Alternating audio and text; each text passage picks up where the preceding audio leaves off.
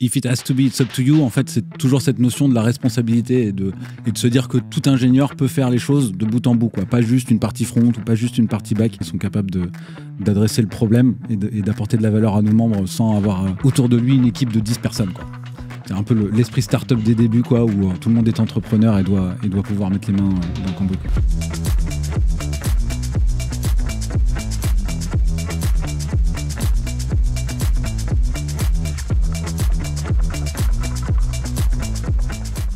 Bonjour à tous et à toutes. Aujourd'hui, nous vous proposons un nouvel épisode de la série Un job à Nantes hashtag tech. Et on reçoit encore trois CTO pour parler aujourd'hui d'un nouveau sujet. Et le sujet, c'est encourager la culture tech et produits euh, dans les startups.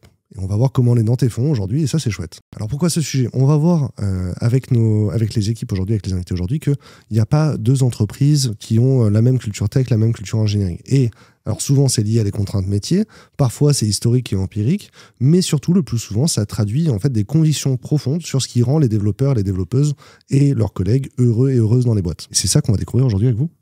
Est-ce que c'est cool? C'est cool. Aujourd'hui, avec moi sur ce plateau, on a trois invités euh, stylés qui sont prêts à partager, témoigner euh, et challenger euh, leur culture tech avec nous. Le premier, tout à droite, c'est donc Cyril Motier, qui est CTO chez Jean Confiance depuis deux ans. Hello. Hello. Jean Confiance est un service de petites annonces accessibles sur recommandation pour les particuliers et les professionnels. Cyril, tu es reconnu depuis plusieurs décennies comme un développeur Android émérite. Est-ce que tu es encore GDE aujourd'hui? Ah, très bonne question. Oui, je suis encore G2. Euh, je n'arrive pas à m'en dépatouiller de, cette, euh, de cette, cet acronyme. en fait, je ne sais pas aujourd'hui comment euh, demander à être retiré. Ouais, parce que tu fais plus d'Android. Euh. En fait, enfin, je fais encore un peu d'Android, mais de très loin, je fais plus beaucoup de conférences autour de, ce sujet-là. Du coup, on te sollicite pour des conférences et tu dis ben. Je fais pas d'Android, je fais autre chose. soit du produit, soit de la tech, mais euh, rarement du mobile aujourd'hui. C'est vrai, je me suis posé la question de savoir si euh, le, ton recrutement chez Jean Confiance traduisait une, le fait que les clients mobiles sont importants chez GDC. ça traduit une partie de ça, mais l'idée pour moi, c'était aussi de changer justement, de, de, taper un peu dans un, une autre façon, enfin une autre, une autre facette de l'informatique. Quoi. Ok. Aurélien Mas, tu es VP of Engineering euh, chez Zinea depuis euh, presque 4 ans. Alors Zinea, c'est un éditeur logiciel qui propose une data discovery platform. Euh, vous êtes 50, dont la moitié sont des techs. Est-ce que c'est correct Aurélien? C'est exactement ça, effectivement. On est bien 50, dont 25 techs, essentiellement à Nantes. la, la RD, on est à peu près les trois quarts à Nantes. on dit une équipe RD pour, pour, On dit une équipe RD, ouais, parce qu'à RD, il y a en fait. Pas ça, ça inclut euh, produit et engineering. Vous ne faites pas la maintenance? Et non. La maintenance, elle est externalisée? Qu'entends-tu par là? Qu'entends-tu par là? Bien évidemment que nous faisons la maintenance de notre logiciel. je sais pas, nous corrigeons les bugs pour nos clients. C'est quelque chose de très important pour nous. Mais la, R&D, euh, le, fait ouais, que R&D, ça euh, pourrait vouloir dire qu'ils font pas la, font pas la maintenance. Ça pourrait, ça pourrait. Mais en fait, nous, c'est juste qu'il fallait trouver un nom chapeau pour regrouper l'engineering et le product au sein d'une même bannière. Et donc, du coup, on a choisi d'appeler ça la R&D. C'est marrant, nous on appelle ça la tech. La RD, normalement, c'est des mecs qui développent mais qui envoie jamais en prod. Voilà, exactement. Ce qu'il faut savoir, c'est est-ce que tu as de la prod derrière. En mais nous, c'est parce que c'est surtout qu'il y a de la recherche. C'est ça, qu'on voulait mettre en avant. Et chez nous, quand on dit euh, l'équipe produit, en fait, c'est les techs. Ah, parce qu'il n'y a, a, pas d'autres gens, c'est tout. Ok, donc Sylvain Bro, tout juste à ma droite, tu es responsable d'équipe front chez SGCIB, la filiale Corporate Investment Bank de la Société Générale, depuis toujours d'ailleurs. Alors depuis, ouais, depuis le début, ouais, ça fait un, ça fait un moment. C'est une DSI de 500 personnes iconoclastes. Est-ce que c'est bien ça? Alors, euh, à part le reste, enfin le, le, gros de, la DSI est à Paris, mais nous, on est une toute petite équipe de 20 personnes à peu près sur Nantes, euh, uniquement à faire du dev front-end. ok. Euh, comment ça s'est fait qu'il y ait un bureau qui arrive à Nantes? C'était quoi la, volonté? Toi, tu étais à Paris avant et tu venu à Nantes après avec ce bureau-là ou pas? Ouais, alors j'ai commencé à Paris, euh, j'ai fait trois ans à Hong Kong, je suis revenu à Paris et puis à la fin, boum, je suis arrivé à Nantes. On a, on atterri à Nantes. Euh, l'objectif, c'était on avait déjà un petit peu euh, pas mal de compétitions sur le sourcing, notamment euh, à Paris, pour attirer des, euh, des dev front dans les équipes. Mhm. Et du coup, on a commencé à se dire bon, bah, est-ce qu'on peut être. Société Générale, c'est très Paris-centrique. Et on s'est dit comment on peut effectivement ouvrir un petit peu en région.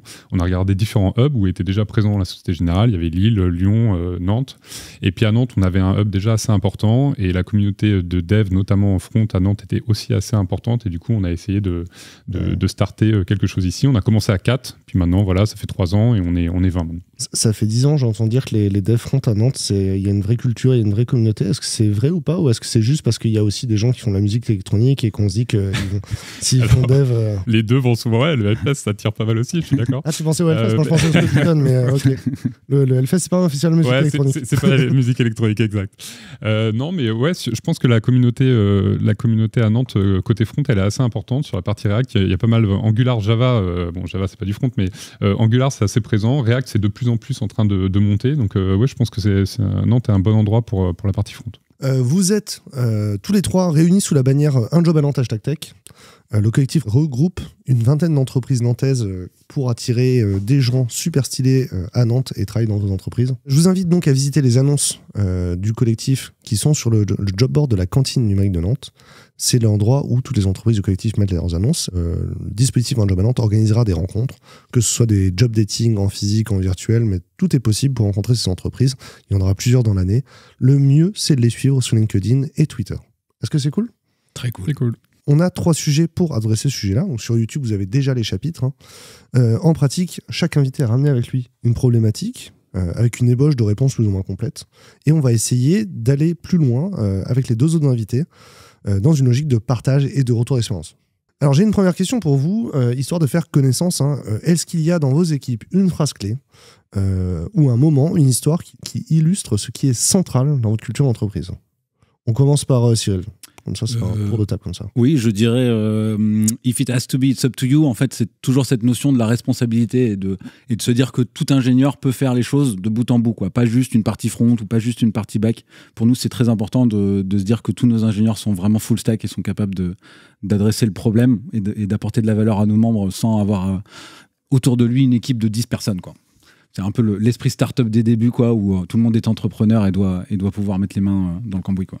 Est-ce qu'une une feature qui est commencée le matin, elle peut être en prod le soir? Alors, historiquement, oui, c'était le cas. Euh, plus ça va, et je pense qu'on y reviendra parce que c'était un sujet et, c'est une de mes craintes sur la scalabilité. Quoi. Euh, en tout cas, historiquement, c'était le cas. Aujourd'hui, c'est beaucoup plus compliqué, évidemment, parce qu'il il y a beaucoup plus de contraintes sur euh, la localisation, sur les tests, sur l'accessibilité, sur enfin beaucoup de choses. La scalabilité, évidemment, entre gérer 4 connexions jour et 4 millions, c'est pas la même chose. Quoi. Aurélien, tu veux prendre la suite? Oui, bah écoute, euh, nous, il y a une phrase qui sous-tend quand même pas mal notre culture. C'est, euh, je dirais, c'est euh, know what you're optimizing for. Ça veut dire qu'en fait, finalement, ce qui, ça vient du principe que à chaque choix qu'on fait, il y a une contrepartie. Donc, dès qu'on essaye de faire, je sais pas, un choix d'organisation, un choix technique ou quoi que ce soit, ou d'optimiser une partie de, notre travail, ben on sait que finalement ça va avec un trade-off forcément, avec quelque chose qui va se dégrader peut-être potentiellement. Et donc l'idée c'est pas de faire, euh, d'essayer de tout optimiser, mais c'est vraiment d'être conscient de ce qu'on cherche à optimiser et de d'être conscient des impacts des choix qu'on fait. Donc, et, euh, donc, euh, imaginons, j'arrive en tant que nouvel ingénieur chez Zinea, et justement je me demande, attends, pourquoi les gens ont fait ce choix-là à telle époque? Je, retrouve de la documentation ouais, ou je suis obligé de socialiser? Comment ça se passe? Ouais, ouais, en fait, on a, on a un. En fait, nous, on a un framework assez puissant euh, côté de notre organisation. Donc, on appelle un framework parce que c'est vraiment l'ensemble des processus de base qui nous permettent de nous organiser. Donc, en fait, on a une vision un peu, euh, j'aime bien dire, cyborg de, mmh. de l'orga. C'est qu'en en fait, on a un, squelette euh, assez, euh, assez costaud, assez métallique, tu vois, mécanique. Ah, c'est ça, avec, cyborg. Assez, avec des, des, des, process assez, assez je dirais pas rigide, mais assez bien ancré. Et au-dessus, on laisse se développer de l'organique. En fait, donc c'est un peu ça qui fait le, côté cyborg, tu vois, c'est qu'on laisse se développer la prise d'initiative, l'organique, etc. Et notamment, euh, pour la manière qu'on a de, prendre des décisions, on a un process de décision euh, très bien documenté et dans lequel on va tracer toutes les décisions euh, qui ont été prises au fil du temps, un peu sous un format qui est connu sous les, formes d'ADR, les Architecture Decision Record. Donc nous, on va pas jusque-là, c'est-à-dire qu'on va pas vraiment documenter tout ça dans GitHub sur les décisions d'architecture. Par contre, on trace un log de toutes nos décisions, ce qui fait qu'on mmh. est capable de retrouver un peu le moment où on a pris la décision et bah, éventuellement, si un paramètre a changé, pourquoi pas la remettre en cause. Mais dans l'idée, une, décision qui a été prise, et eh ben, on se commit à l'exécuter après. Quoi. Ok, cool. Sylvain, euh, qu'est-ce que tu peux nous raconter? Ouais, bah moi je voulais peut-être rebondir euh, sur, euh, pardon, sur la, partie scalabilité, parce que du coup, voilà, quand on pense Société Générale, Sgib, on dit, ah bah tiens, c'est un, un, un, monstre avec N applications, et du coup, c'est comment effectivement on arrive, et comment on a réussi peut-être nous à mettre en place, à revenir à un à, un mode de petite équipe, un peu de, mindset startup, tout en étant dans, un, dans quelque chose qui est très, euh, qui est assez gigantesque avec un nombre d'applications et de process, comme on le disait, sur le test, la scalabilité, la, réglementation. Comment on arrive quand même à garder une valeur qui est très forte chez nous, qui est être time to market, c'est-à-dire être capable de délivrer de la valeur très rapidement pour la salle de marché et les clients de la banque de la banque d'investissement. Donc la réactivité, c'est important. Ouais, ça c'est super important pour nous. on travaille pour la banque d'investissement, pour la salle de marché. Euh, c'est voilà, il y a un nombre de transactions très très important par jour euh, partout dans le monde. Euh, les sites web sont, utilisés effectivement sur toutes les places financières, à Hong Kong, aux US, Londres, toute l'Europe de manière générale. Donc il faut qu'on soit très réactif et qu'on puisse apporter de la valeur sur les nouveaux produits que la banque d'investissement offre à ses clients. Donc la qualité c'est très important, la réactivité c'est très important. et puis on va, on peut être un peu moins regardant sur sur autre chose, mais ça c'est très clé pour nous. Mais c'est en fait à la fin quand même c'est les contraintes métiers qui donnent qui donne beaucoup de choses, mais c'est des contraintes métiers, mais elles vous plaisent quand même, non? Alors, ce que je veux dire. ouais, En tout cas, pour moi, euh, c'est souvent. Alors, ce qu'on peut avoir euh, souvent dans l'image de la banque, on se dit, euh, pour ceux qui, qui, nous regardent, je pense que quand ils pensent à Société Générale, ils vont se dire, oh mon Dieu, on va être enfermé dans des bureaux, on va faire du COBOL, parce que je sais pas pourquoi, mais on pense encore au crack de l'an 2000 avec le passage de la date en COBOL. c'est plus ça. Alors, moi, je, vous invite, et j'espère que dans le lien, les, gens pourront aller faire un tour, mais sur info.gmarket.com, les sites web qu'on développe, nous, on développe maintenant pour la banque d'investissement sur du trading électronique. Donc, ça tire tout un tas de problématiques sur euh, du trading haute fréquence, euh, euh, effectivement des connexions partout dans le monde. Comment on s'assure que sur du prix du forex, où on peut avoir le prix du dollar qui peut bouger deux à trois fois par seconde, on s'assure que le client a le bon prix dans son, dans son browser web. Ça, sur un mainframe, ça marcherait pas? Ça, sur un mainframe, c'est plus compliqué. Surtout quand on veut que les clients aujourd'hui puissent traiter partout dans le monde. et donc ça, aujourd'hui, ouais, il y, y, a des problématiques assez passionnantes qui font que sur la banque d'investissement, on peut s'éclater, on peut, pour des dev front aujourd'hui, faire des trucs super stylés euh, sur, sur nos sites. C'est vrai que la, enfin, la SOG, de manière générale, elle est, elle, est exemplaire sur son move to cloud dans l'industrie euh, bancaire. Alors, on, est plutôt pas mal. Nous, typiquement, euh, enfin, alors après, je, mais nous, tous nos sites aujourd'hui sont déployés sur Azure. Donc, que ce soit Web API et Frontend, ils sont sur, sur, sur Azure. On est, cloud-based by design. Tout nouveau projet est cloud-based by design chez nous. On avait, on avait fait une, une étude, j'ai publié, publié un article sur LinkedIn où je parlais du state of DevOps. Et euh, effectivement, euh, les, gens que j'ai interviewés qui ont travaillé directement, indirectement pour la SOG montraient qu'il y avait quand même une maîtrise dans le move to cloud. Et, ce, qui est intéressant, ce qui était intéressant, c'était que les, cloud advocates euh, ou les cloud évangélistes qui avaient à la SOG, c'était pas juste des gens qui étaient là pour dire aux gens il faut utiliser le cloud, mais qui vérifiaient que chaque équipe elle est en maîtrise de ce qu'elle fait dans le cloud aussi et qu'elle est bien mmh. responsable de sa prod après etc. Ouais, alors ça, bah, typiquement, vous, voilà, sur le réglementaire, hein, euh, une banque, données bancaires, euh, aller dans le cloud public, c'est pas quelque chose qui s'est fait euh, facilement. Donc, ah on a été effectivement dès le début avec la Banque centrale, avec la réglementation, pour savoir qu'est-ce qu'on peut mettre dans le code, qu'est-ce qu'on peut pas mettre dans le cloud. Donc, on imagine hein, tout ce qui est information client, et je vous rassure, tout ce qui est information client n'est pas dans le cloud Azure. Il y a du cloud privé chez nous aussi. Mais pour tout ce qui est déploiement site web, on utilise effectivement du cloud Azure. Donc, on a pas mal travaillé là-dessus. Donc, il y a toute une partie, quels sont euh, sur le console, euh, console AWS ou, euh, ou portail Azure, quels sont les services Trust and Control qu'on peut utiliser et, qui sont ouverts pour nous. Donc malheureusement, tout n'est pas open bar, ah bah on est sur la plateforme, mais de plus en plus, on est en train de sécuriser les services avec, en partenariat avec, avec Microsoft et, Amazon. Le premier sujet, Sylvain. alors apparemment, à la SOG, vous avez à la SOG, à en tout cas, vous avez une, une capacité, une liberté de prise d'initiative qui est importante. Euh, c'est ce qui a étonné euh, du coup Julien qui était nouveau euh, chez vous dans vos équipes. Et toi qui es du coup un, bébé Sogé, c'est quoi la, secrète sauce et comment vous avez fait depuis que tu es dans la boîte pour ne pas la perdre cette cette, ouais, cette capacité et cette, cette liberté d'initiative. Ouais. Alors, ce voilà, ce moi, ce que je voulais mettre un petit peu en, en, exergue ici, c'est comment on arrive dans les grosses structures. effectivement, bah, on doit faire des choix technologiques pour éviter que euh, alors, avoir, euh, pas que ça devienne un cyborg, justement, faut arriver à avoir un, socle de technologie euh, qui ne devienne pas trop disparate et qu'on se retrouve du coup avec effectivement des fronts qui doivent faire du Vue, du React, de l'Angular, mais côté back-end, du Rust, du .NET, du Java, et qu'à la fin, même pour le côté sourcing, on se dit, bah ouais, mais comment on va trouver un dev à, à 50 pattes maintenant parce qu'il faut qu'ils fassent toutes les technos. Alors on sait que les devs peuvent s'adapter, mais il y a quand même une expertise des fois qu'il faut avoir. J'ai déjà entendu à la SOG, on trouve pas du, de développeurs Ruby on Rails à Levalloper. un vrai sujet. Et euh, tout en gardant effectivement une certaine. De l'autre côté, bah, voilà, arriver à garder une, une, certaine flexibilité en disant bah, tiens, il y a un nouveau use case, bah, là ça vaut le coup de demain euh, faire une, une, web API en Node ou de, de, poker quelque chose de nouveau. Et donc ça, euh, nous on essaye effectivement d'ouvrir et de laisser de la liberté aux devs et en même temps de garder un, peu un contrôle sur toutes les technos pour éviter que ça devienne à la fin un arbre de toutes les technos possibles parce qu'on on, sait tous, hein, on fait des POC, tiens, il y a telle nouvelle techno, on essaye, mais si c'est pour chaque composant, ça, devient un peu problématique. Donc c'est nous, on laisse la possibilité de poker, et puis à un moment, quand on veut que ça devienne, on partage tous ensemble au niveau de la communauté, nous, au niveau de la communauté AG Market, et puis après, on essaye de voir, avec le rôle un peu des tech leads, qu'est-ce qui fait sens et, et qu'est-ce qui doit rester un peu en mode POC. Mais ça peut être intéressant voilà, d'avoir votre avis là-dessus, comment vous, vous le mettez en place dans vos organisations. Du coup, Aurélien, vous n'avez pas de tech lead hein donc non, nous, euh, effectivement, la, dans notre organisation, c'est lié un peu à l'ADN de la boîte euh, historique. C'est-à-dire ouais. que c'est une boîte qui s'est... Euh, Zinea, c'est une boîte qui s'est fondée sur les, à la suite en fait finalement d'une ESN parisienne qui s'appelait Xebia et qui était un cabinet d'architectes d'expertise. Et donc finalement les premiers, les premières personnes qui sont intervenues chez Zinea étaient tous des gens euh, assez seniors en fait, Mhm. euh, donc tous des gens avec 15-20 ans d'expérience euh, qui auraient pu tous finalement prétendre au rôle de tech lead. Donc en fait euh, choisir un tech lead parmi des tech leads c'était un peu compliqué. C'est comme ça qu'on fait les chevaliers. Hein. Voilà ouais. Et donc finalement, euh, ce qu'on ce qu'on a fait, c'est qu'on a on est plutôt parti euh, du principe qu'on allait laisser euh, le, le, leadership technique émerger finalement, et, c'est un principe qu'on a gardé. c'est un principe du départ de chez Zinea et qu'on a gardé. Donc ça veut dire que finalement, suivant les technologies, ben, à peu près tout le monde peut prendre un leadership à un moment donné.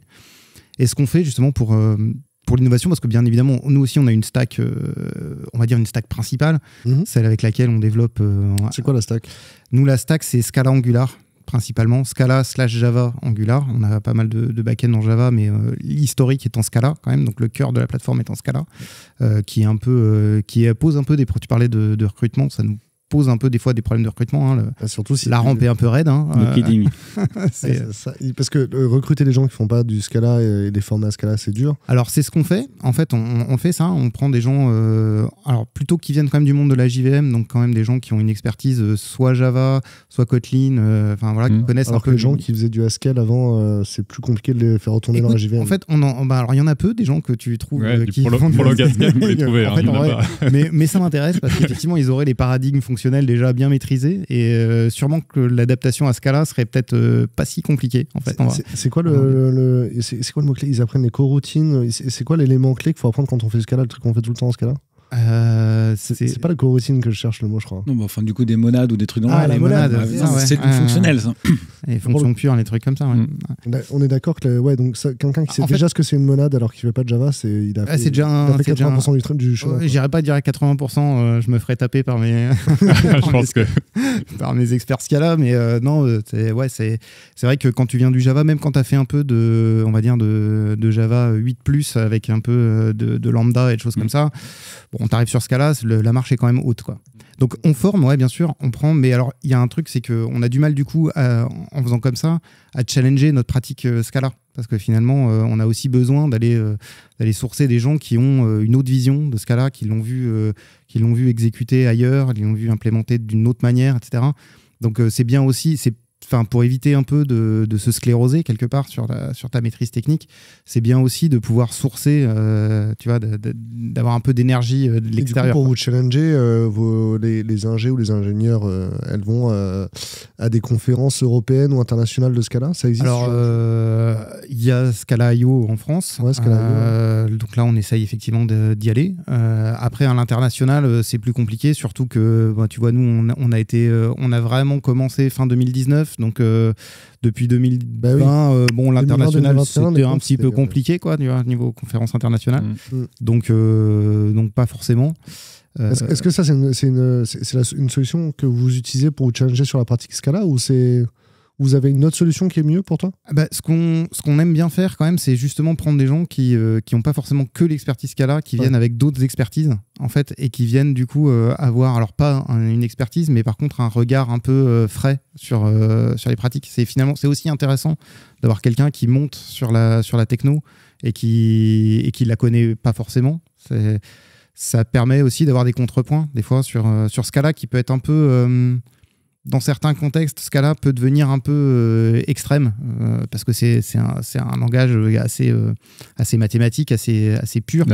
Donc on peut aller très loin en fait dans ce cas-là. Nous, on essaye mm. de pas aller trop loin. Nous, ce qu'on dit, il y a un truc qu'on dit, c'est la phrase que, que je répète à tous les, quasiment à tous les, les, les embauches, c'est euh, nous, on cherche des gens qui viennent faire notre produit en Scala et pas des gens qui viennent faire du Scala dans notre produit. C'est super mmh. important parce que euh, tu peux avoir cette, euh, cette dérive-là de gens qui finalement, avec Scala, tombent un peu dans le côté de se faire plaisir et après, euh, tu, vas, tu vas au-delà de la puissance du mm. logiciel et ça peut devenir compliqué. C'est pour ça, moi j'avais une petite question, alors désolé, euh, je ne vais, pas faire le boulot de, l'intervieweur. euh, du coup, c'est pourquoi, pourquoi la programmation fonctionnelle au début du projet euh, ah, Pourquoi Scala Ouais, pourquoi eh ben, en fait, C'est finalement un, un non-choix, en fait. Hein, c'est que les personnes qui ont commencé au début Zinea, finalement, et qui ont démarré le projet, étaient des gens qui venaient plutôt du monde de l'expertise et du big data, en fait. Mm. Et mm. donc, du coup, où Scala était un langage assez utilisé. Et finalement, c'était leur langage de prédilection. Et donc, on a commencé là-dedans. Et ça a grossi comme ça. Et euh, au final, à un moment donné, est-ce que euh, refaire le noyau Scala en autre chose, ça a vraiment de la valeur? Pas forcément, c'était mm. beaucoup d'efforts pour, C'est Hadoop Spark hein, qui marche avec Scala et Python. Ouais, je me trompe pas. Hein. Mm, je crois, ouais. je crois. Ouais, non, moi je suis pas, euh, je suis pas un expert Scala. Hein. J'ai jamais écrit une seule ligne de Scala de ma vie, hein, je précise. Cyril, vous, c'est du PHP ou du Scala? Non, en fait, c'est assez marrant. Euh, c'est du, euh, c'est pas du Scala en tout cas. C'est plutôt du PHP historique et du Golang. Et en fait, ça, c'est quelque chose que j'ai découvert assez récemment parce que venant plutôt d'un background mobile, les débats un peu de clocher sur les langages, les technos, je les connaissais pas. Moi, j'avais, en fait, on fait de l'iOS, c'est du Swift ou de l'Objective C, mais globalement, tu fais la dernière techno, tout le monde fait du Swift. Et, et sur Android, c'est la même chose. Quoi. C'était du Java historique et du Kotlin maintenant. Euh, donc en fait, euh, dans le mobile, on va dire tout le monde est heureux avec sa techno. Il n'y a pas trop ce débat de qu'est-ce que je choisis. Quoi. Alors après, il y a mmh. peut-être des débats sur les ah, libs. Ça, commence à venir maintenant. C'est est-ce que je fais du Dart ou est-ce que je fais du React Native Alors même, même ouais, voilà, c'est plus sur est-ce que j'ai une approche native ou une approche hybride. Vous avez fait du GWT. Hein. Voilà. Euh, voilà, à, la, à, la, à, la, générale, on a, on, a, on a, touché à peu près à tout. Euh, maintenant, euh, nous, on avait euh, Angular React. Maintenant, on est 80, 90% du React euh, sur, sur la partie front-end. Ah ouais. Et puis, historiquement, on avait, historiquement, on avait des grosses parties en .NET, sur toute la partie Web API, parce qu'on avait l'ancienne plateforme qui s'appelait Alpha. Elle était en full Microsoft, backend .NET et Silverlight en, en front. Pour revenir à ce que dit Cyril, c'est-à-dire qu'en en fait, c'est intéressant de se rappeler aussi que historiquement, bah, il devait y avoir des mainframes quand même. Et le premier réflexe. Ah oui, bah, il y, en a eu, bien sûr. Et ce qu'on a fait dans les années 90, voire 2000, euh, c'est euh, enrober ces mainframes avec des services SOAP c'est ce qu'on appelait le SOA à l'époque. Et donc, du coup, c'est un peu ce que tu dis, c'est que finalement, ok, vous êtes en Scala, mais parce que le, les gens qui faisaient ça, ils utilisaient des outils d'attaque qui étaient pratiques en Scala. Ouais, et puis parce que le langage a aussi des caractéristiques qui, sont, euh, qui en font un langage euh, quand même de premier ordre. Enfin, c'est un peu plus dur, on va dire, qu'un langage euh, type Go, tu disais, qui, qui justement vend plutôt une, une accessibilité. Scala, c'est un peu moins accessible. Par contre, ça a des des caractéristiques au travers de l'immutabilité, au travers des les fonctionnels, etc., qui, ont, qui, qui, ont vachement de valeur d'un point de vue qualité et d'un point de vue euh, production. Quoi. Et c'est aussi très bien. Et c'est intéressant de se rappeler aussi que des fois, genre, tu vois, c'est pas forcément un ADR de dire, ben, euh, tu vois, par exemple, il y a des boîtes où ils font du Python aujourd'hui pour ils font du Python Django sur l'API web parce que, ben, en fait, il y a beaucoup de data et ils trouvent ça plus simple de, euh, enfin, dans, dans, leur métier, il y a de la data, ils trouvent ça plus simple d'utiliser les outils Python pour traiter la data et ça, mm. leur permet d'avoir quelque chose d'homogène. Et puis les gens qui ont fait les API de Django à la base, ben, c'était plutôt des data scientists que des devs en fait. Mm. Donc, tu vois, se rappeler du truc historique de, et, d'assumer que c'est pas une, raison d'architecture, que c'est vraiment bah une raison de, bah, les gens étaient là, ils faisaient ça, quoi. C'est ça. Bah, exactement ce qui s'est passé au début de Jean de confiance en fait. Donc le choix de PHP a été pris euh, parce que euh, voulait un framework euh, donc qui est Symfony. Il y avait un acteur qui était Facebook quand même, qui est quand même une, un peu un gage en tout cas, comme quoi on peut faire du PHP at scale. Et puis au final, au fur et à mesure qu'on avance dans, dans, la dans la startup, on se rend compte qu'on a besoin d'outils pour la data. Donc on est plutôt sur du Python. côté front, on est plutôt sur tout ce qui est React en effet avec Next.js et puis du TypeScript. Donc au fur et à mesure que la boîte évolue, on a une une boîte à outils qui évolue avec elle. Euh, donc aujourd'hui, on est vraiment sur, euh, et enfin, on est sur ces technos-là, donc du PHP pour tout ce qui est back-end, euh, du Golang aussi sur les nouveaux services qui sont faits euh, côté back-end, du TypeScript sur tout ce qui est front et puis du, Python pour tout ce qui est data. Et donc on a, on a vraiment, euh, bah, un petit peu comme, euh, comme disait Sylvain pour la, pour la Société Générale, quoi. Donc on a aujourd'hui du coup plutôt une tendance à mettre un cadre, mettre un, contexte dans lequel les, équipes peuvent évoluer, choisir une techno parmi une, boîte à outils déjà prédéfinie, qu'on qu'on appelle chez nous du coup les, architectures design principles, mais globalement ça va permettre à chaque ingénieur de pouvoir choisir dans un petit, un petit set, on essaie de le rendre le plus petit possible, Ouais. euh, parce que la, la- la combinatoire elle est toujours très vite euh, Mm. énorme, mais en gros un petit set de, de technos qui sont possibles pour, euh, dès que j'ai un choix à prendre sur euh, une, base, une base de données relationnelle, une base de données NoSQL, euh, du caching in memory, qu'est-ce que j'utilise quoi bah, Nous, on a ce tableau-là, et puis en face, les technos qu'on qu'on autori- qu'on autorise. Quoi. Du coup, ça veut dire que vous avez forcément une architecture microservice, micro-front-end, parce que sinon, euh, déployer, ça devient méga compliqué. Tout quoi. à fait. Donc, historiquement, non, euh, évidemment, hein, puisque, comme je le disais, euh, plutôt un historique Symfony PHP. Et, et notre approche depuis une année, là, déjà, c'est vraiment de tout, tout ce qu'on fait de nouveau passe dans une architecture microservice. Quoi. Ouais. Avec du coup ces choix qui sont possibles au niveau de la team, euh, toujours dans une approche plutôt domaine-driven. Donc, on essaie aussi d'éviter les les problèmes que peuvent avoir d'autres boîtes qui, ont- qui sont allées trop loin dans le microservice. Euh, je pense à Uber où il y avait euh, il y a 5 ou 10 000 euh, microservices. Nous, nous, ce qu'on veut vraiment à terme, c'est en avoir une vingtaine, quoi, grand max, quoi. grand grand max. Ma, question qui va avec, c'est- bah, quand on veut du microservice et tu vois qu'on a ce- cette philosophie de choisir, est-ce qu'il y a un moment, à quel moment tu, est-ce qu'on a le droit de dire à un moment, tu vois, on a lancé le microservice en Go, c'est une mauvaise idée, il faut le jeter, il faut le refaire quoi. Il n'y a aucune réponse où on peut dire non, un non absolu, je pense. Euh, mais, euh, mais en tout cas, aujourd'hui, on, essaie toujours d'avoir une, réponse, enfin, une réponse plutôt en évolution plutôt qu'en révolution. Si on remet tout à la poubelle pour un langage, souvent, euh, en tout cas, moi, ça, ça me rend très dubitatif. Je vais plutôt regarder où, sont les, où sont les problèmes de perf et, comme tu disais, toujours mesurer avant de, avant de Mhm. prendre une décision. Donc, je je dirais pas, c'est pas que c'est pas impossible. Enfin, voilà, c'est possible, mais généralement, ça se sent pas très bon, quoi, dès le début. Et, et souvent, ça, c'est on l'a tous connu, je pense, dans notre Ouais. expérience, c'est souvent la mauvaise réponse. C'est-à-dire que euh, il y a une nouvelle génération de devs qui arrive sur le projet, qui regarde et qui dit mais c'est quoi ce truc Euh, Mm. C'est un millefeuille. Bah ouais, normal. euh, Une application au bout d'un moment, Ouais. on rajoute, on rajoute, c'est un millefeuille. Et, et, et on- plutôt que d'essayer de comprendre où sont les problématiques dans le détail, on dit ah c'est pas possible, de toute façon, vaut mieux le refaire, on va le faire en là, moi je suis plus à l'aise dans ces technos. Et pour lui, ça va lui paraître plus simple. Et là, on part sur un chantier euh, qui, qui finit jamais bien en général. hein. C'est Ouais. parce qu'il y a une complexité dans le dans l'app qu'on n'a pas appréhendé et qu'on même si on choisit une nouvelle Mm. techno, on retrouvera cette complexité. C'est juste qu'on l'a pas vu au début, on voulait pas faire l'effort de l'avoir et on la remet. Et le résultat sera, de toute façon, ça va coûter très cher, euh, ça va être très long, euh, ça- et on va gérer deux apps en parallèle. Et donc les évolutions, il faut soit faire un stop, euh, Ouais, un, un stop, et soit Mm. pouvoir faire des deux côtés. Donc ça coûte très très cher. Et à la fin, on retrouve une autre app avec une autre complexité. Donc moi, enfin, Mm.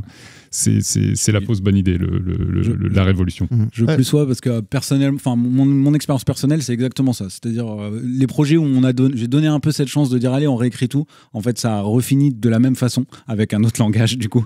Et, et- et dans les faits, c'était plutôt, euh, c'est rarement un problème de langage en fait. euh, le- le- quand on regarde euh, la, la scalabilité, euh, c'est pas un problème d'un langage performant ou pas performant. En fait, ou pas- c'est ce que j'ajouterais là-dessus, c'est effectivement, c'est c'est souvent on se trompe de problème et souvent, ce qui, ce qui moi je trouve amène à ce genre de mauvaises décisions, c'est le, le non-respect du passé. C'est-à-dire qu'en fait, il y a un vrai truc qui est important dans un projet informatique et dans Mhm. tout ça, c'est res- respecter le passé. C'est savoir que le moment où on t'a fait les choix et les moments où on t'a fait les choses, bah, les gens qui l'ont fait, euh, à ce moment-là, ils étaient a priori, ils pensaient que c'était le meilleur choix compte tenu des informations qu'ils avaient à ce moment-là.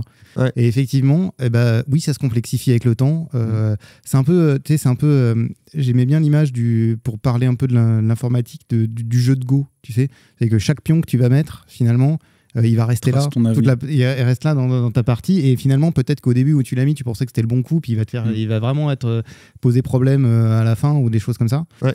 Et bah ouais. Et du coup, il faut bien, bien garder en conscience de, de la problématique que tu veux euh, régler. Tout à fait. Et on revient un peu à ce que je disais au début, tu vois, du know what you're optimizing for, finalement, qui est, qui, qui est là. C'est qu'est-ce que je veux régler comme problème? Est-ce que c'est un problème de perf? Est-ce que c'est Et finalement, le langage, c'est un peu un moyen. Donc c'est un peu euh, changer le langage, c'est rarement une. Mm. D'accord. Après, ça peut arriver hein, sur, des, sur des frameworks. Moi, ça m'est déjà arrivé avec des frameworks qui tombent en désuétude où il y a, Ouais, un risque. framework, pas le langage. Mais pas le langage en général. Un langage mainstream qui, sur ça. lequel tu as construit, qui a quand même euh, 10, 15, 20 ans de, et qui reste supporté par des énormes boîtes euh, comme Oracle ou des trucs comme ça pour, pour Java. Enfin, ouais, tu, tu te dis, euh, bon, avant que le langage il soit, vrai, il soit vraiment porteur d'un risque qui nécessite de le changer, euh, c'est quand même, tu as de la marge en général. Ma, ma question, c'était plus sur, le, sur la prise d'initiative. Il n'y a pas d'expérience, il n'y a pas d'échec éventuellement. Quoi. Euh, Et, et donc, du coup, comment euh, ça se concrétise, tu vois, une expérience qui n'a pas marché? Euh, Une initiative où on se dit, euh, ça n'a pas marché, mais on a appris quelque chose en route, quoi. Bah, on apprend- déjà, on apprend toujours, euh, forcément. Euh, après, enfin, c'est sûr que ce qu'on essaie de faire à chaque fois qu'on démarre un projet, c'est d'abord de définir quel est le succès, quel est le, enfin, quel est l'état de succès, quelle est la mesure qui nous permet de dire ça sera un succès et quelle est la mesure qui nous permet de dire ça sera un, un échec. Euh, bon, des fois, évidemment, cette mesure-là, elle n'est pas bonne euh, dès le départ, et donc du coup, on arrive sur un projet qui est un petit peu un coup dans l'eau. Mais, mais je pense que c'est important, de- avant de commencer, déjà de définir ce- cette mesure-là, quoi. C'est ce qui va permettre derrière de savoir si on continue ou pas, quoi.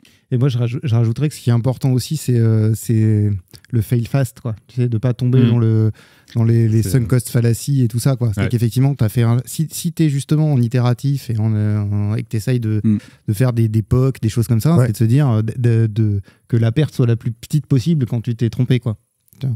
Et que du coup, euh, tu puisses jeter des choses qui sont pas encore en prod, quoi. Mais en plus, je pense qu'il faut rester vachement humble là-dessus. Enfin, qui- enfin, en tout cas, moi, ça m'arrive assez souvent Mhm. où je lis du code et je dis mais c'est quoi cette merde? Je fais clic droit blame, enfin git blame, moi- et c'est moi.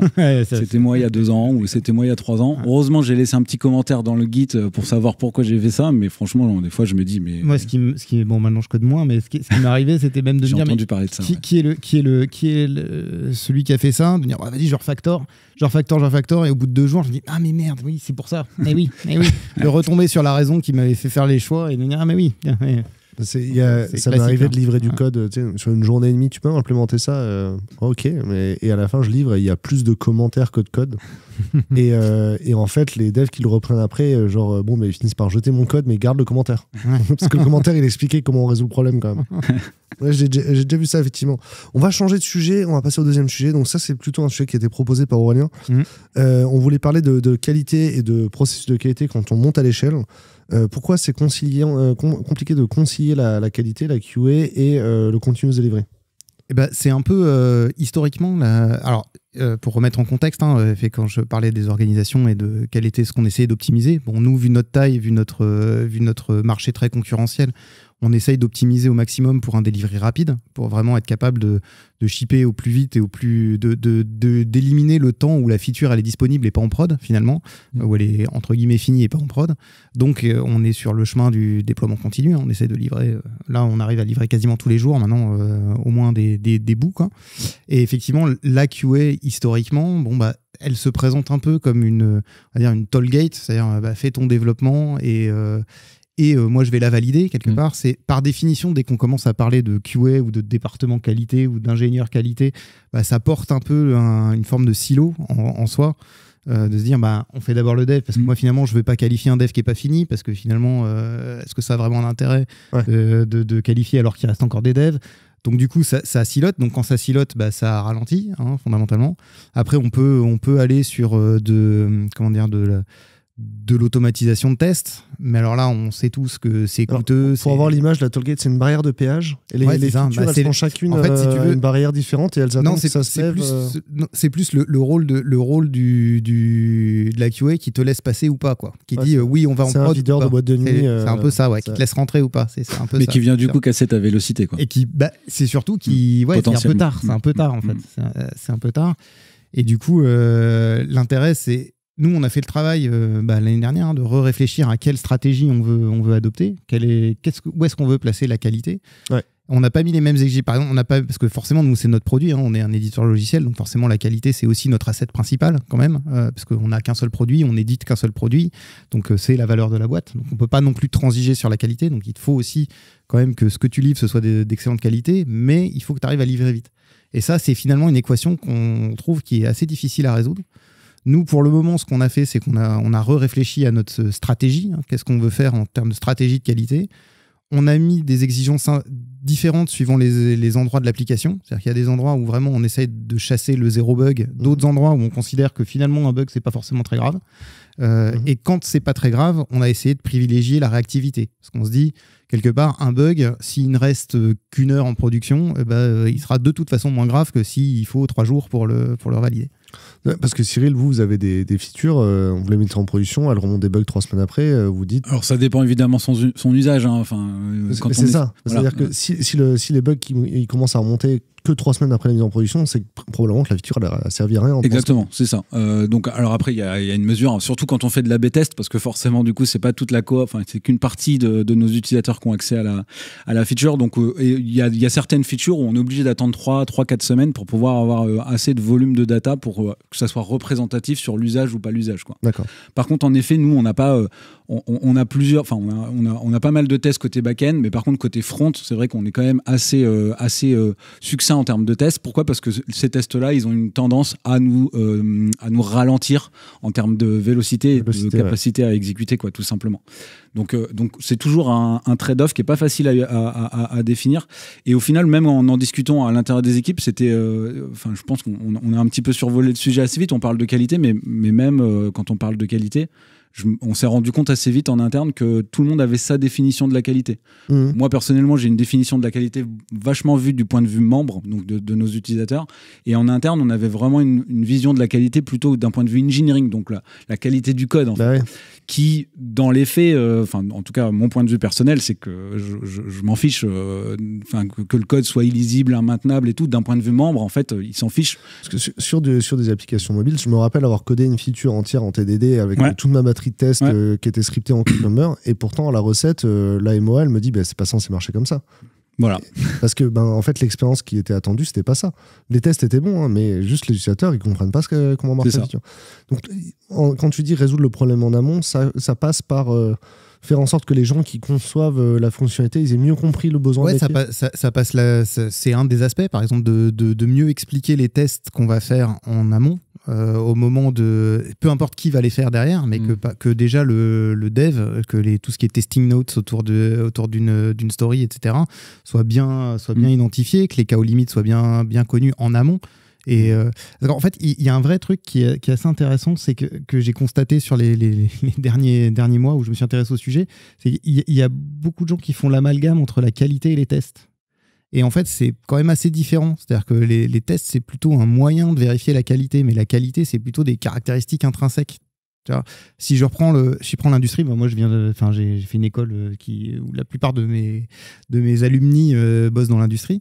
En fait, dans l'industrie, la qualité, c'est la qualité des procédés. En Mm. fait, ils vont pas vérifier à la fin. C'est le, le Renault, 9001. Renault, quand ils font des voitures, ils vont pas tester toutes les voitures qui sortent euh, dans tous les cas. C'est pas comme ça que ça marche en fait. La, Non, qualité, elle est dans la qualité des procédés. C'est, euh, on est sûr que ce qui va sortir, c'est bien. Et après, ils font du cherry picking. Finalement, ils font du sampling de quelques, de quelques points qu'ils vont tester pour voir si le procédé il a qualité.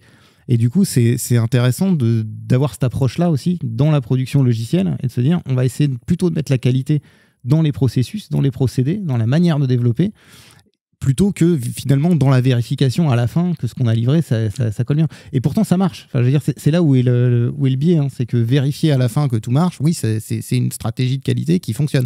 On peut faire ça. Soit avec un gros harnais de test euh, automatique, soit avec euh, Du coup, euh, des- soit avec des phases de. Tu J'ai un exemple, moi j'ai bossé sur un, un- un projet de compensation interbancaire que tu dois sûrement connaître qui s'appelait Ouais. STET. Mhm. Je sais pas si tu, tu vois. euh, non, tu connais pas. En fait, c'est- tous les mou- imagine, c'est tous les mouvements bancaires de, qui se passent dans une journée dans- entre toutes les banques françaises Ouais, la chambre de Donc, compensation. qui, qui, qui remonte dans un gros truc de compensation et qui à la fin dit bah voilà la SOG doit tant à la, Mmh. à la BNP et vice versa quoi. Donc c'est le truc ça peut pas planter en fait t'as pas le droit de te planter là-dessus. Et donc la stratégie eux c'était d'avoir un gros département qualité qui faisait euh, trois mois de recettes euh, du truc complet pour être sûr que ce qui part en prod c'était bon. quoi. et, et du coup, Sylvain, euh, vous, c'est quoi la code coverage euh, 100% ou c'est ISO Bah, 9001 euh, je- c'est quoi ouais, j'allais poser. donc je, vais décrire comment ça marche chez nous, mais j'allais poser la question parce qu'on parlait qualité, test, tout ça. Mais je pense que ceux qui nous écoutent, ils veulent savoir. Bah, au final, tu as dit il y a des QA, mais concrètement, euh, comment comment tu testes ton app Tu dis que tu lis tous les jours. Comment tu testes ton app avant de la pousser vraiment euh, en prod, quoi Euh, euh, Nous, euh, le choix qu'on a fait. Donc, euh, je rappelle hein, le contexte. euh, on fait des, euh, effectivement une plateforme de deal électronique pour nos clients côté Société Générale. Donc nous, il faut qu'on teste. hein, tu disais effectivement, c'est intéressant d'investir sur les features qui sont critiques. Quand on est en train de faire de l'échange de plusieurs millions d'euros en, dollars, il faut qu'on s'assure que le, le taux de forex utilisé et le deal qui est booké derrière, il, il soit valide. Donc nous, on a pas mal investi sur euh, un mindset global de test au niveau de l'équipe. Donc ça, ça se, ça se, euh, ça se euh, ça se décrit comment On a effectivement les devs, ils sont honneurs d'à peu près toute l'application. Donc c'est bien sûr faire ses devs, mais quand on fait les devs, on dit effectivement, comme tu l'as dit, définition des, cas de test dès le début. Donc nous, ça c'est spéqué dès, dès la création effectivement de la story. et ça fera partie effectivement aussi de la definition of done. C'est-à-dire que quand on a fait notre dev, les tests sont réalisés, tout est bien sûr green, que ce soit les TU avec les tests de composants et les tests end-to-end qu'on a derrière. Et nous, effectivement, de manière automatique, tout est testé, c'est-à-dire que dès que tu touches à quelque chose, tu as du feedback en direct, bien sûr, avec tes TU, avec Vittest, etc., en live. Et puis après, as la, on essaye d'avoir une feedback sur, sur les tests end-to-end assez rapide, une fois que c'est sur la CI. Et si ça, c'est OK, euh, on est à peu près serein sur le comportement de l'application, qu'on n'a rien briqué. Et après, il y a un dernier, euh, comme tu dis, euh, gatekeeper avec de la QA. On n'a pas de QA dédié. Nous, c'est vraiment un peu plus effectivement la maîtrise d'ouvrage, un peu l'homme orchestre qui va, qui va regarder à la fin et qui va dire on est bon sur la nouvelle feature, on sait que la non-régression, les tests end-to-end auront tout couvert et on va pouvoir pousser, on va pouvoir pousser en prod. Du coup, dans, ce système-là, euh, un, prestataire ou, euh, un, ou, collaborateur qui débraye euh, les tests sur sa pull request, ça c'est entretien préalable. Quoi. Directement, on en parle. Quoi. Ouais, nous, euh, en fait, euh, souvent, d'ailleurs, euh, moi, sur les entretiens, dans les premières questions, on dit, on, attaque souvent par les tests déjà. On, commence, c'est quoi ta maturité sur les tests? Pour toi, c'est quoi des bons tests? C'est quoi effectivement un bon code coverage? C'est typiquement le genre de questions qu'on va commencer avant d'aller regarder son niveau technique sur React, .NET, etc. Derrière, on, attaque souvent. Et, et alors, du coup, c'est en gros, ce que je comprends, c'est que euh, au moment où tu déploies, euh, ce que tu, si tu dois déployer pour un incident par exemple, ou tu dois déployer dans la journée, mm. tu es à peu près sûr euh, que ce qui marchait hier marche encore demain, quoi. Ouais. Par contre, les tests, ça doit, il y a un moment où ça te coûte cher en vélocité. Alors ouais, donc alors donc nous, on a très fortement automatisé donc test end-to-end TU, ça, ça pour te garantir que quand tu fais ton développement, tu es à peu près sûr hein, sur le comportement de l'application et ce que tu as ajouté mm-hmm. et pas en train de breaker l'app.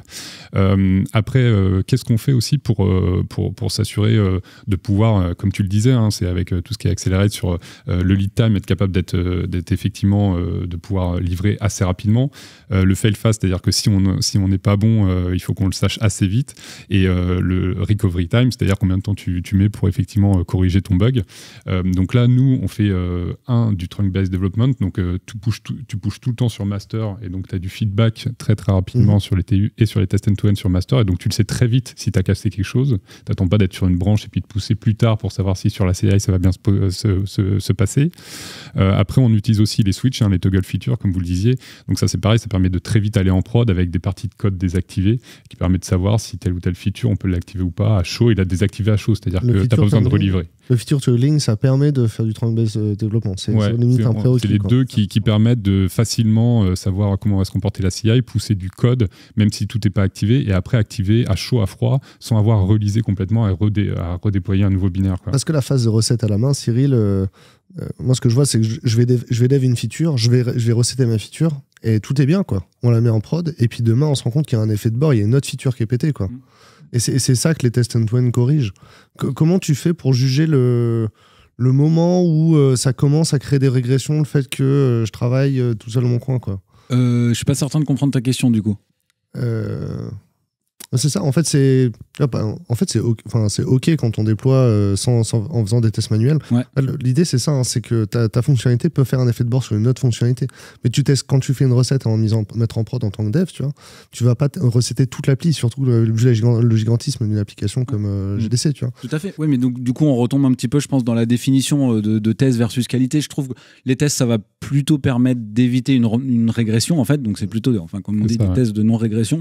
Alors que moi, mon point de vue sur la qualité, c'est vraiment euh, euh, comment le l'expérience le, utilisateur, donc euh, le, le, user feeling en fait avec avec le, produit. Et ça, franchement, je pense que c'est des choses qui sont parfois non testables. imaginons, je sais pas, une animation dans, dans un produit, l'interaction design, la façon dont, je sais pas, un panneau arrive dans sur l'écran. Mm. Est-ce que c'est est-ce que c'est est-ce que c'est fluide Est-ce que c'est le bon, enfin la bonne interpolation? Ça, franchement, à tester de façon automatisée. Bon courage, mm. quoi. Et il, faut, et il faut défendre dans, dans les équipes et auprès du business le fait qu'investir dans le look and feel, dans l'interface, ça vaut le coup. Quoi. Bah, en fait, je pense que ça dépend vraiment du, du domaine, mais nous, c'est clairement. Chez Zinea, vous, c'est pas forcément important d'avoir euh, des, des, choses jolies. Quoi. Alors si quand même, Si. hein, parce que euh, C'est un, ça. élé- c'est un élément différenciant. C'est pas parce qu'on fait du B2B qu'on fait des trucs moches. Mais si, le B2B. Je sais pas, je me on a quand même, euh, on vous a avez- quand même un peu de respect pour Vous nos avez du scalage, vous avez du scalage, vous voyez bien avec un back-office en bootstrap. Non, non, c'est joli. Euh, non, non, c'est on essaie parce que c'est important parce que l'adoption euh, des, des utilisateurs euh, chez les Ouais. clients et qui sont des utilisateurs métiers aussi hein, Mm. chez le client et qui sont pas des qui sont pas des techs hein, qui Ouais. utilisent. C'est important, ça différencie aussi de la concurrence. Et effectivement, euh, c'est nous on essaie plutôt de, de on est, on est assez peu convaincu par les vrais gros tests end-to-end parce que Mm. c'est, lourd, c'est long et, euh, et puis surtout on a du mal à, à les inclure dans le pipeline de déploiement. C'est que Mm. nous en fait ce qu'on a besoin c'est euh, nous ce qu'on veut c'est que tous les tests automatisés finalement ils valident ou pas le fait qu'on puisse déployer la feature quelque part. Donc c'est, euh, c'est parce que notre but ultime, on n'y est pas encore mais euh, c'est vraiment notre, notre but c'est que euh, chaque merge euh, il Ouais, parte en prod direct. directement. Faire du continuous. Et faire vraiment faire du continuous. Donc, Ouais, et, Vous, n'avez pas du continuous delivery. Vous Non, avez, bah non, vous du avez coup, des voilà, nous, intégrateurs qui font pas du CSS, quoi. Alors, on, on, on- non. nous, il n'y a, pas d'intégrateur chez nous. Mais du coup, nous, une fois que les tests end-to-end ils sont validés, effectivement, c'est sur un, un environnement de CI et ils promo euh, automatiquement sur l'environnement du AT. Et donc, on est à peu près sur un sur l'environnement Alors, AT. C'est quoi un, a pas- un- un environnement du AT pour tout le monde? Donc, euh, euh, je, je fais mon dev, c'est- une- c'est l'acronyme de quoi, UAT euh, User Acceptance Testing. Oh, cool Ah, Bah, mal, pas mal. Fait. donc voilà, mais en gros, euh, Parce que c'est le genre de mot, à force d'utiliser pendant 10 ans, tu sais plus ce qu'il va le dire. Ouais.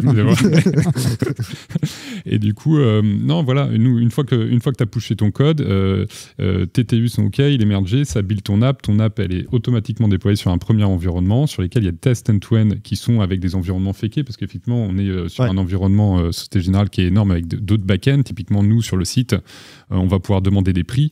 On n'est pas le pricer, on va aller appeler une API qui va nous donner le prix. Mhm. Donc, on va tester tout le comportement UI de, de- du, du site web. Il va être fait sur cet environnement avec des tests end-to-end qui Ouais. simulent ces, ces prix-là. Une fois que tout ça c'est OK, on sait qu'il n'y a pas de non-régression. C'est là où il y a un auto-promote sur un nouvel environnement, l'environnement du AT. Euh, cet environnement-là, il est connecté à des vrais backends cette fois-ci, qui ne sont pas des backends de prod ou prod-like, et qui vont permettre d'avoir un, un comportement euh, prod-like et retester l'application. Et donc là, on a malheureusement, enfin voilà, nous aussi, on aimerait aller sur du continuous de- euh, deployment, mais on a encore ce dernier euh, gatekeeper, comme tu disais, où c'est vraiment effectivement le biais qui va s'assurer. Là, on se dit, OK, les tests end-to-end nous ont couvert qu'on n'avait pas de, de- de régression sur l'app, et on regarde la nouvelle feature qu'on a développée, Mm. et ce qu'on pense qu'elle correspond bien aux besoins, elle, elle- elle va avoir une, une, Et à ce moment-là, la MOA, elle revient dans la boucle? C'est là où le, MOA, en fait, avant DevCI, il veut pas en entendre parler. Nous, la definition of done, justement, pour le, dans, le, dans hein, c'est vraiment le, dev prend son ticket, il est en, en, done quand il a fait ses, son dev, euh, que ses tests sont OK, que ça a été déployé sur DevCI et que les tests end-to-end sont pas pétés sur DevCI. Une fois qu'il a tout ça et qu'il y a le promote du coup qui se fait sur UAT, il peut considérer que son dev, il est done de son côté. C'est-à-dire qu'il y a le bon niveau de qualité et maintenant, il y a le, le MOA, il a juste à vérifier que la feature, elle est, elle est, elle est cohérente. Du coup, la- question qui va avec, c'est euh, en fait, il y a combien de MOA par rapport aux gens de la MOE chez vous? Yes, exact. Alors nous, c'est pareil. Donc- Ça peut varier d'une BU à d'une DSI non, mais je pense que ça, c'est une très bonne question.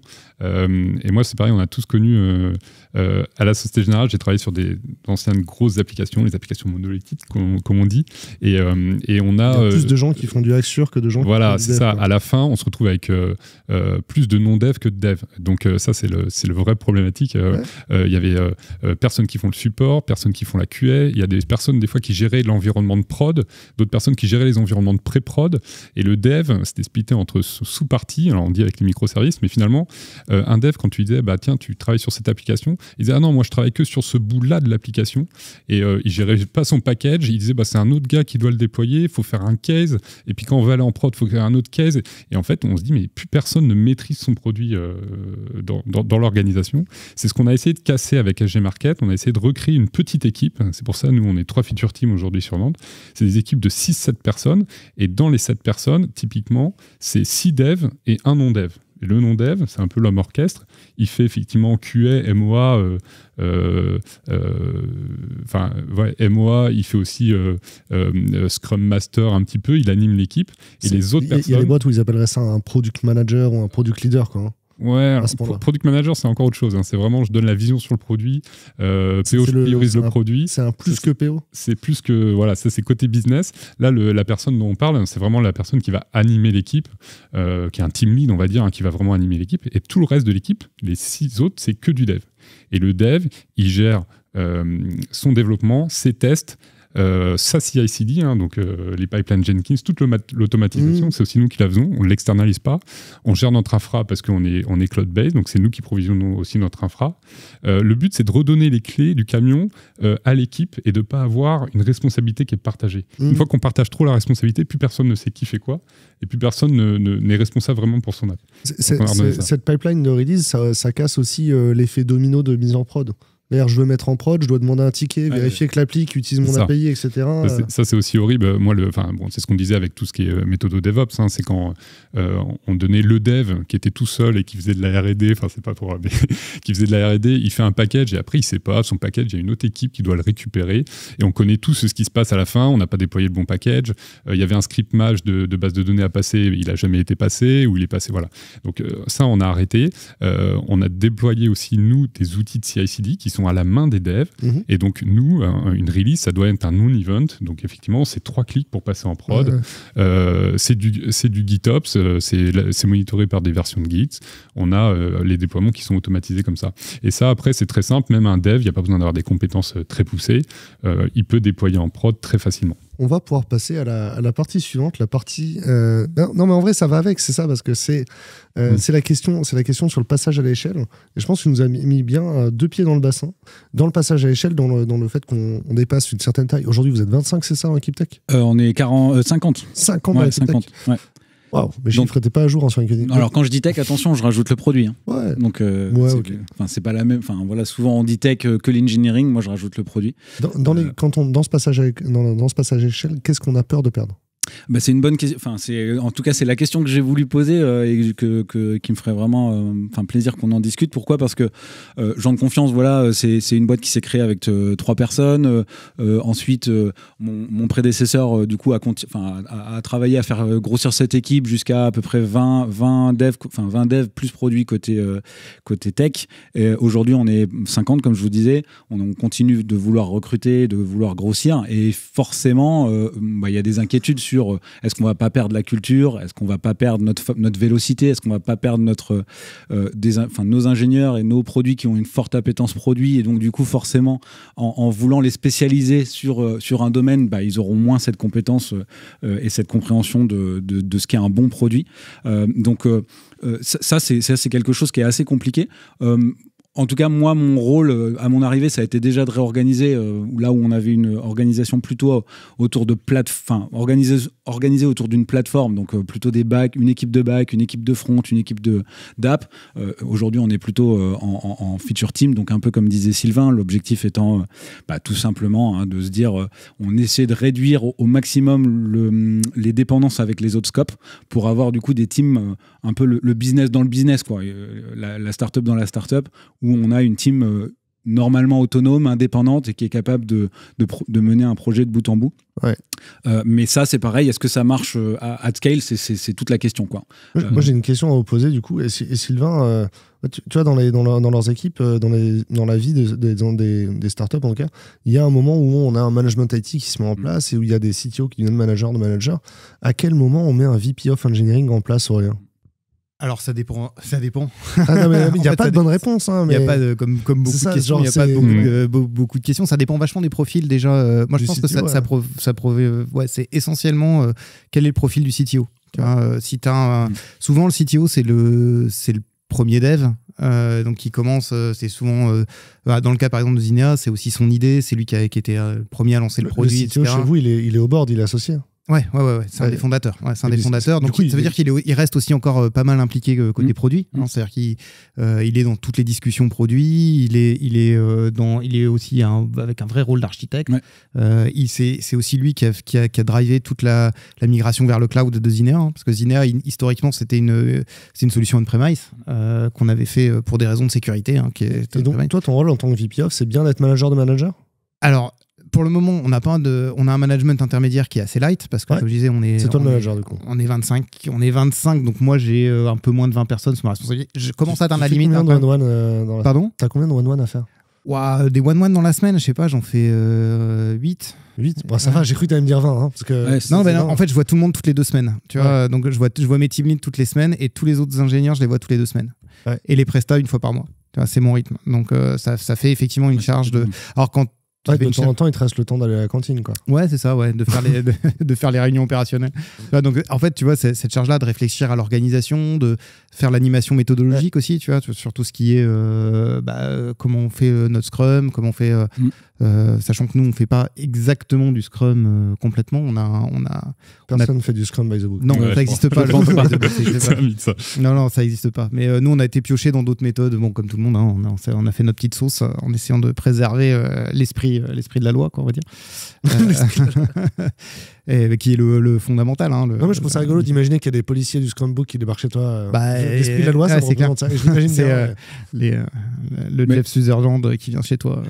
Mais pour rebondir un peu sur ce que tu disais, Damien, je pense que ça dépend vraiment des boîtes. Alors, euh, la, la Société Générale, je sais même pas si vous avez un CTO au final, euh, puisque Vous avez le- un DSI. les membres fondateurs de la CLG, je, je sais pas. Il est trop loin.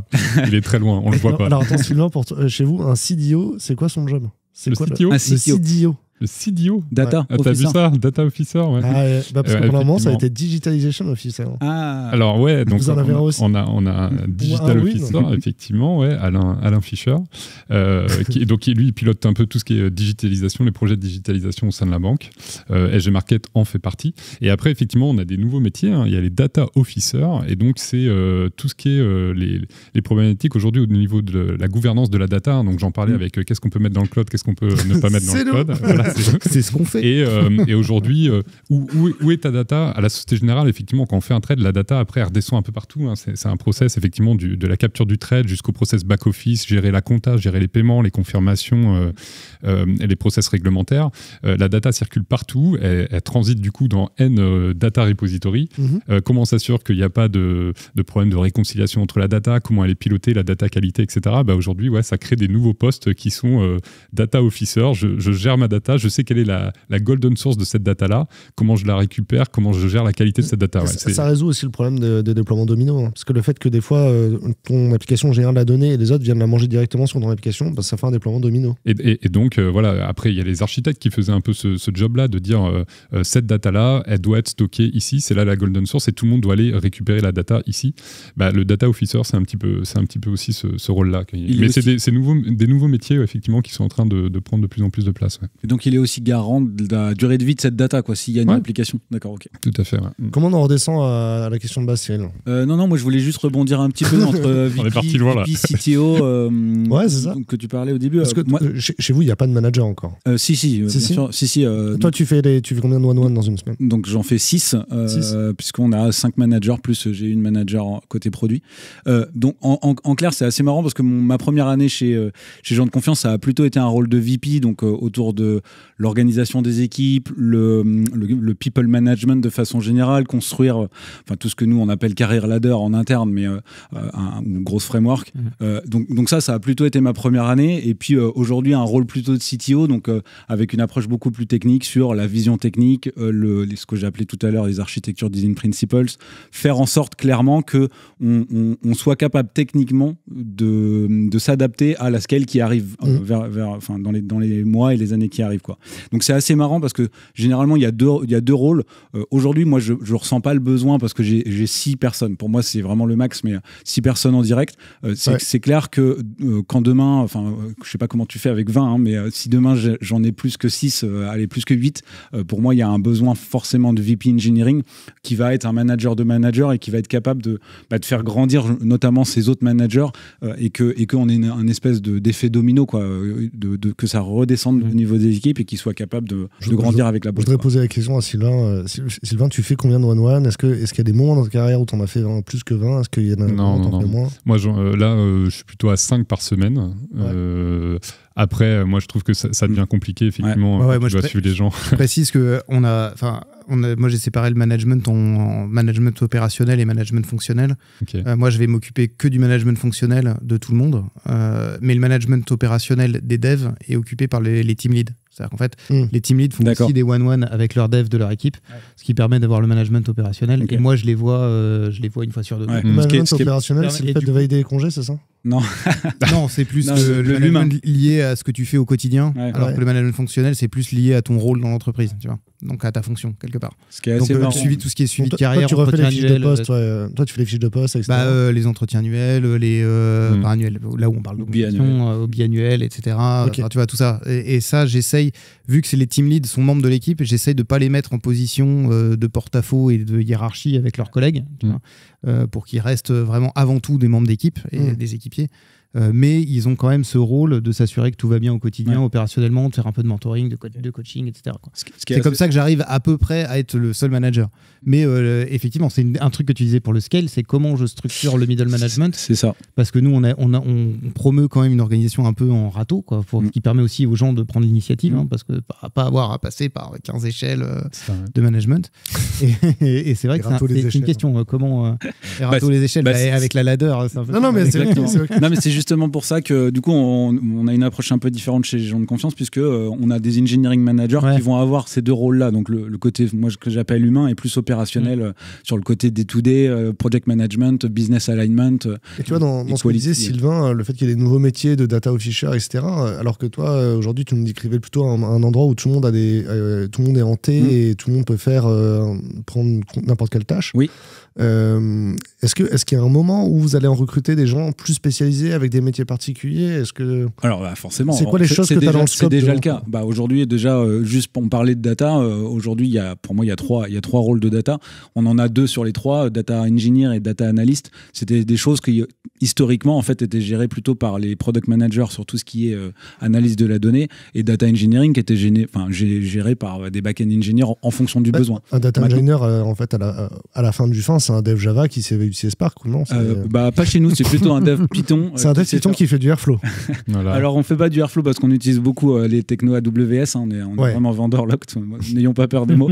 Mais euh, du coup non, c'est plutôt quelqu'un donc euh, qui va qui va gérer la plateforme de la data, donc le, le flow de la data, pas au sens légal ou euh, Hmm. ou euh, réglementaire, mais plutôt au sens euh, vo- vo- enfin, volumétrique ou en tout cas le volume de la data et donner les outils pour que chacune des, des feature teams soit indépendante sur, euh, Mm. sur sa data. Donc euh, par exemple tout ce qui est data analyse ensuite, donc euh, tout ce qui est data warehouse chez nous, euh, donc la capacité de pouvoir requêter nos data et donc de pouvoir faire de l'analyse de nos data et, et- et- et de générer notre roadmap en fonction de ça.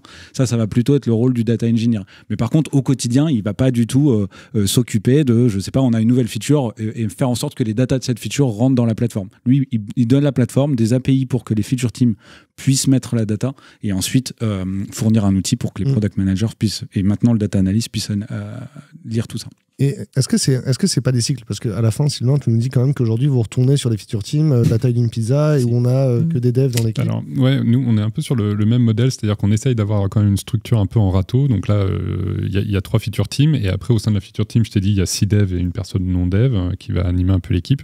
Mais cette personne-là, euh, on l'a pas appelé euh, VP Engineering, c'est pas le, le- le manager de, de la feature team, il est au même niveau, et, et c'est plutôt sain parce que quand justement il va présenter les stories, etc., eh ben, le dev, euh, c'est pas son manager, donc euh, il a le droit de lui dire euh, le, mot en F pour lui dire non, non, mais on, va pas, on va pas tordre l'app pour, pour faire ce use case, ça c'est pas possible, etc. Il n'y a, pas ce, côté management avec j'ai mon ma annual review, etc. Voilà. Donc on essaye de garder quand même ce, quelque chose assez râteau, même si derrière, effectivement, il y a, plein de, plein de sous-équipes. Mais du coup, est-ce que quand on fait ce genre de restructuration, de, choix d'organisation, on met pas, est-ce qu'on on voit vraiment la loi de Conway s'appliquer? Oui. Alors, ouais, Oui, c'est- clairement. C'est, Bah, euh, Clairement, dès À que, dès, dès que tu fais un choix d'organisation, déjà tu sais que ça sera non optimal. hein, euh, donc, et ça, nous, on le voit tous les jours. Mm. Tous les jours. Parce qu'à chaque fois qu'on qu'on se- dit, bah, on va, oh, enfin, le produit nous dit euh, que c'est plutôt comme ça qu'on doit organiser nos équipes, bah, le lendemain, on sort une nouvelle feature qui fait que en fait, elle est à cheval entre deux, trois Ouais. features team. Mm. Et c'est très compliqué à chaque fois de, de devoir gérer ça. Quoi.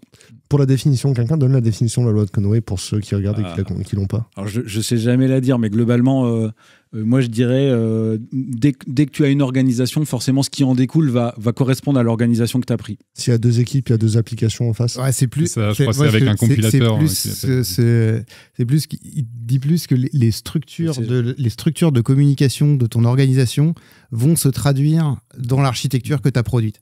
Si on a Slack, on va aller dans le cloud. Oh, ça t'a fait Non, rire. je crois- je crois- je crois ça qu'ils a- m'interpelle, mais- Ils, avaient fait des tests avec. euh, euh, ils avaient demandé à euh, trois équipes de faire un compilateur. Et ben, le compilateur, à la fin, il avait, il avait trois étapes pour compiler. Et ils avaient fait le même test en disant avec quatre équipes. Et le compilateur, il avait quatre étapes pour, pour compiler. Donc, c'est typiquement, voilà, tu as quatre équipes. Bah, dans, ton, dans ton produit, tu vas retrouver les quatre équipes. Ça va, ça va transpirer dans, la- dans Dans l'application. ouais. Mm. Ok, c'est cool. Euh, on est sur la fin de la vidéo. Oh, c'est- Dommage. Mais c'était cool. C'était cool. Je tiens à vous remercier. Je tiens à remercier Merci. les gens qui ont regardé euh, la vidéo jusqu'ici. Euh, vous pouvez retrouver euh, SoGCIB, GDC et euh, Zinea sur le job board de la cantine.